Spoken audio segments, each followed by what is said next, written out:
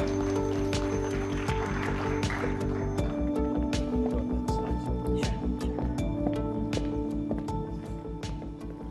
right.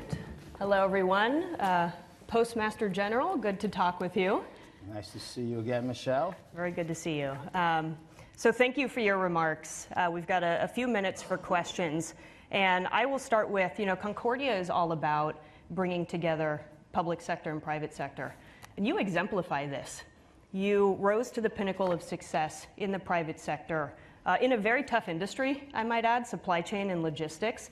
You took New Breed Logistics from a family owned 10 person company into a nationwide uh, player with 12,000 employees. You worked across industry sectors. Um, and now you find yourself at a completely different organization. It's a 250 year old government agency with an $80 billion budget, uh, 600,000 employees.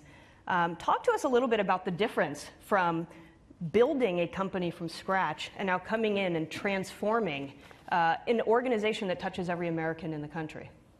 So, um, you know, tactically, from my characteristics of what I do and how I manage, it's really not that much, you know, not that much different. Uh, um, you know, uh, it's about innovation. It's about commitment to work and precision. Uh, all those things that you, it's about competing in the marketplace, identifying what your power lanes are uh, in, in, in the marketplace, and getting a competitive advantage on everything around you. Otherwise, it's not worth uh, doing. At the poll, you know, I had to build pen, you know, build my organization through operational profitability um, uh, um, and, and stagger my in investments that, that way. At the Postal Service, uh, you, and, and, build our competencies as we went along. Postal Service is flush with competency and comp competent people. Uh, as I said, they're just kind of working, you know, on, you know, on the on the wrong uh, uh, uh, things. The first so I needed to reorganize them as opposed to recruit them. Uh, and I need to, needed to try and get them engaged in uh, uh, new innovative initiatives, uh, you know, to compete in, in, in the marketplace, uh, uh, which is there. There's formidable competitors in there. I would say this, it's a little unique because of the political nature of what this is about. Uh, um, uh, so when I think about, I have to think a little more about what I um, you know, would normally do in a normal uh, uh, uh, uh life. It's a little more bureaucratic. but I mean, I don't, you know, this, we have a public service mission. And, and, and, that's important. That's a guiding light. The, when, privately, it was a profit mission, right? So it's a little, it's a little, you know, different. But um, you know, I'm, I'm me every day when I walk in, you know, it hasn't, that much hasn't changed. Mm-hmm. So this is so interesting. I think what you're doing is so important, Louis, because you're writing a transformational playbook that needs to be applied to so many other parts of our government. Uh, I know there's, there's some live polling going on uh, here today. Uh, and I think if you look at some of the, the research and polling numbers, there's probably not a lot of Americans who uh, would raise their hand to say that our government works competently and efficiently and effectively across uh, every corner. Congress has let our, our uh, deficit expand to $33 trillion. The U.S. Navy is facing a dwindling and aging submarine fleet. We're not sure we can be ready in the Taiwan Strait. I was just on a panel about our supply chain readiness, which you know a lot about. We see a lot of leaders on TV, on Instagram, on Twitter talking about the problem and whose fault that it is, but not a lot of solving going on. Yet here you are at a uh, large government organization um, and you're doing things. You've got a plan for financial sustainability when nobody thought that it could be done. What would be your advice to leaders who need to be fixing the problem so we all go from being spectators to solvers?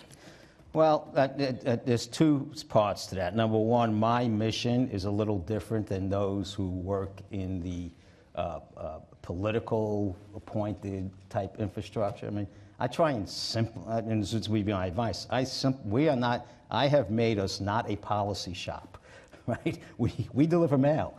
Right? That's what we do. We have to deliver mail and cover our costs, and everything in the organization is focused on that. And anybody or anything that get, tries to get in the way with that, I consider a disruption to our plan And uh, we're fierce about it, right? Because we, we, we have, you know, we're not going to run out of cash in 60 days. We're going to run out of cash in five years now.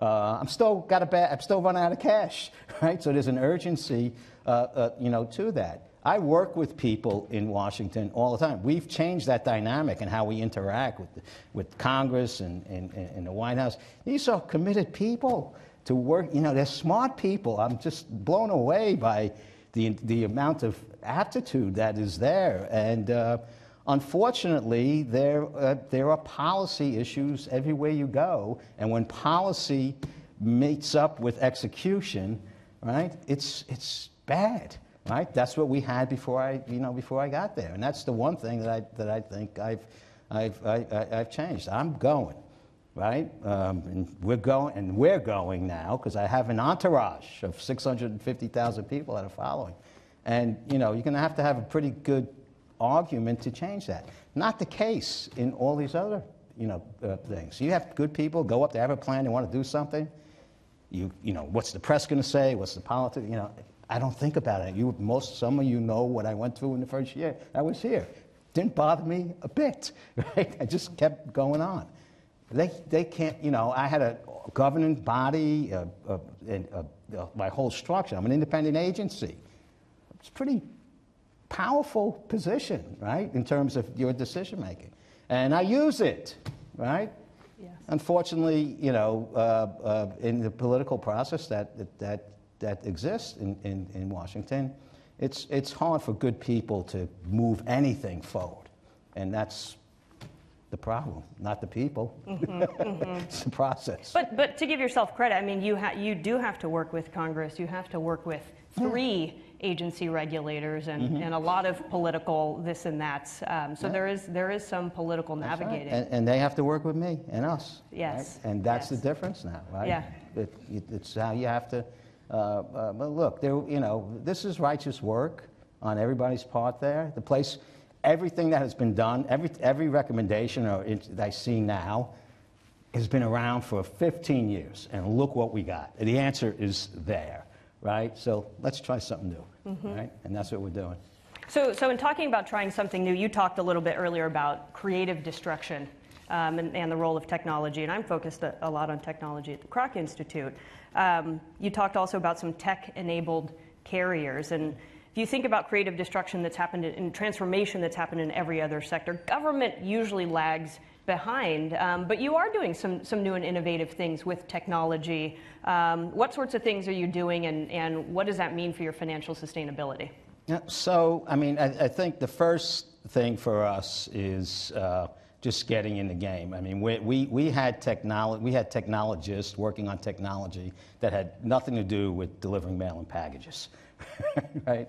Uh, and that's the way the organization was set up. I've, you can't do any of that anymore. Everything's pointed at delivering mail and packages. So there's some basic things like, hey, instead of sorting 25 million packages a year by hand, a day by hand, why don't we get some sorting equipment, right? And why don't we get some good, you know, uh, you know methodologies to, to you know, to, ha- to handle that? So we've spent probably $2 billion on uh, uh, uh, high automation throughout our processing plants and, and, and, and, and, and so forth. Uh, technology, right, but, you know, we have 30-year-old vehicles that burn on the streets right? So that, that's a big buying of uh, 66,000 new electric vehicles uh, with all the right, you know, monitoring systems in it and so forth is a big, big advance in, in, in, in terms of that. We can go across the whole operational uh, spectrum of where we were 30, 40 years behind. I have great, great technology department, though. So I'm starting to point them on. We have AI initiatives in our call centers. Uh, we have, uh, we can now monitor, you know, uh, uh, uh we'll put AI in terms of our our operational uh, uh, you, know, uh, uh this, you know, decisions as we actually hone them down and make it more, more, more, more simple. And our ability to monitor and communicate across the, uh, the, the United States and its territories, we know where everything is all the time. And that's useful. That's useful for making, the, you know, making decisions. And this is the problem. We had technology and nobody used it, right? And now we're starting to, uh, you know, to employ it. Mm-hmm. So we've got time for, for one more question. Uh, Louis, you and I met in the summer of 2020, right? A few weeks, I think, after you came into the job. Um, and it was a very political time. It was uh, during the uh, presidential election. There was a lot of swirl going on. And I think you've proved in the past three years um, that it's not about politics, it's about, about, operations and effectiveness and organizational focus. Um, and it has been a, quite the journey over three years. What do you still uh, like about the job? What, what gets you excited about the job? I'm fascinated, right? As I said when I came, it's, uh, well, you know, first of all, it's important work. It's consequential, and I like those types of things. And uh, uh, the people that I work with in the organization are just, you know, when I travel around the country, just awesome public servants and work hard, and they're excited they're excited for what we're doing. And when you're a leader of an organization, you excited everybody, right? You got to follow through on it, right? And uh, uh, so I'm, I'm committed. I have a great management uh, leadership team. I have like 16 direct reports. That's how I got rid of the institutional memory. I didn't bring new, I mean, same people. I just reorganized them, right? So they had to think that, you know, differently. Uh, but it's, it, this is a, a fascinating ride. I'm blessed to lead an organization of this stature at this time, and I want to see it. Uh, I want to. I want to see cash generating. That's it. People happy and cash generating. So. Well, we thank you for your leadership. Um, you do. You're you're writing a playbook for transformation that I think is going to be a model for uh, the United States in the 21st century, and, and you touch every one of us uh, here in the room and across every the country. Day. So, yeah. thank you very much. Yeah. Thank you.